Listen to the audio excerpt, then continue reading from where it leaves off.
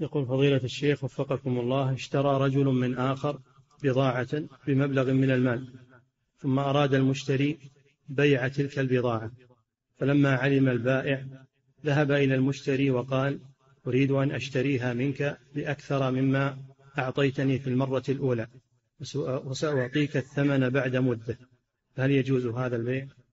نعم إذا كان ما بينهم اتفاق من قبل وتواطي على هذا فلا مانع إذا كان اشتراها وملكها قبضها ثم أراد أن يبيعها وجاء البائع الأول وقال أنا بشتريها بثمن أرفع من الثمن الذي بعته. هذا لا لا علاقة له بالبيع الأول ما في مانع. إلا إذا كان فيه مواقعة وحيلة هذا لا يجوز. نعم.